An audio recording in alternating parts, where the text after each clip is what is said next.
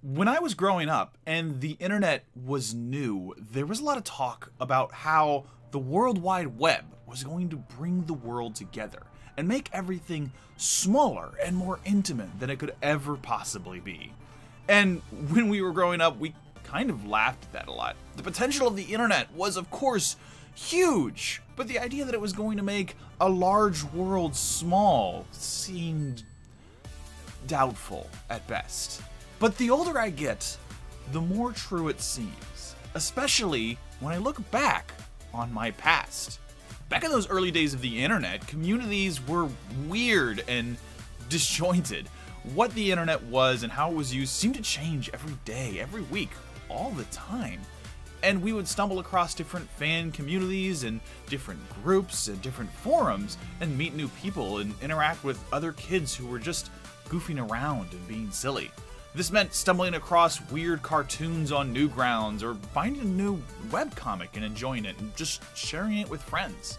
And when I was growing up, a lot of times I didn't realize that the people making these animations and webcomics were just kids like me. But I enjoyed them and I used to think, boy, I hope when I get a little older and a little more talented, like these people who I assumed were in college or, or beyond, that I could be like them one day. But at the time, I didn't realize that I already was. And today, as I go through YouTube and see up and coming YouTubers or, or long established stars that I appreciate, or watch cartoons that I see on Cartoon Network or Disney Channel, I'm becoming more and more aware that the creators of these things I really enjoy were those kids that I used to admire, those other people on the internet, other nobodies like me at the time, who who were just doing something they cared about and watching it blossom into something amazing.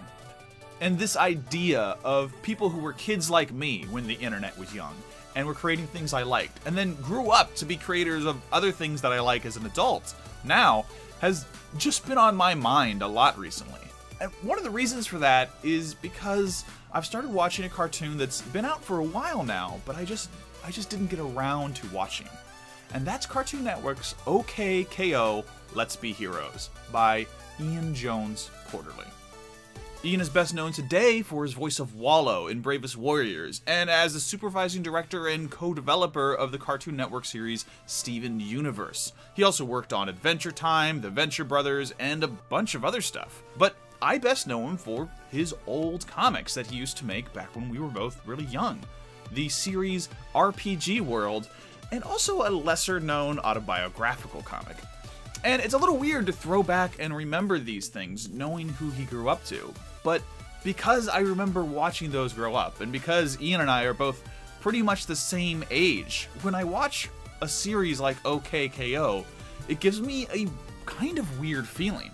Yeah, I'm watching this cartoon, which is funny and kind and imaginative, and I like it, but I'm also watching it thinking, this is Ian's work. And even though I don't know him, and we've never met, and we've never talked, it's a strange sensation of pride.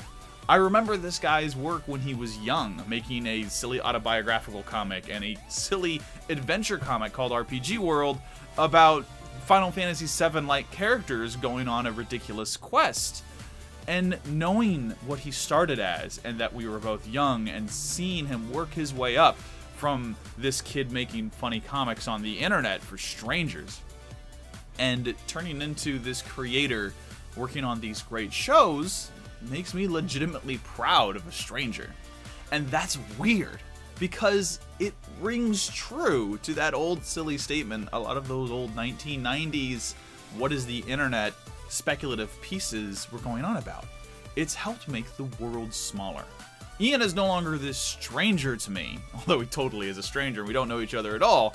That that just lives in another part of world. But I kind of think of him a little bit more as someone I I knew from my old hometown because I knew him from similar corners of the internet.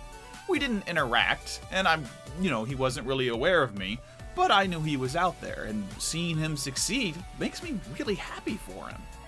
And that's just well, it's it's strange, isn't it? Ian's not the only person on the early days of the internet this has happened with either. There are other creators out there who I remember seeing their work out there on websites like Newgrounds and thinking, these guys are funny, and I really like them, and I bet they're older than me.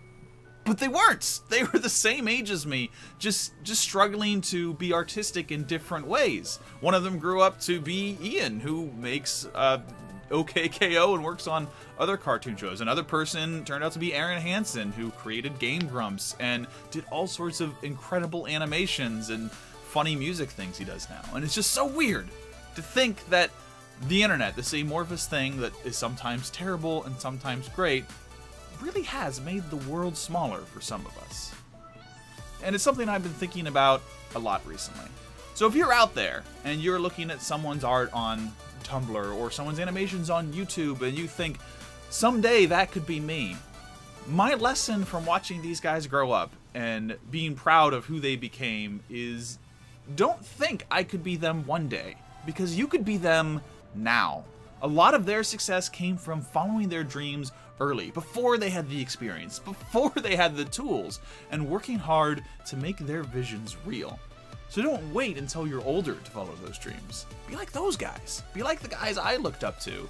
And start following your dreams now, because you never know what they're going to turn into. You know, and that's all it. That's it, really. All I really wanted to talk about. I've just been thinking about that a lot recently.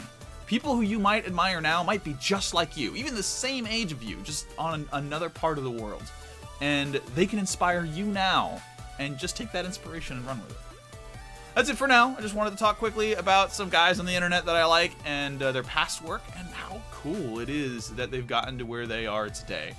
Uh, it's been a bit of a slow month for some of my usual video content, but I'm hoping to ramp that up as usual. I'm always saying I'm going to do more. But either way, thanks for sticking with me and watching these silly videos, these quick off-the-cuff ones and the more scripted ones. Either way, I'll talk to you all later, and take it easy, Internet. You small, small internet.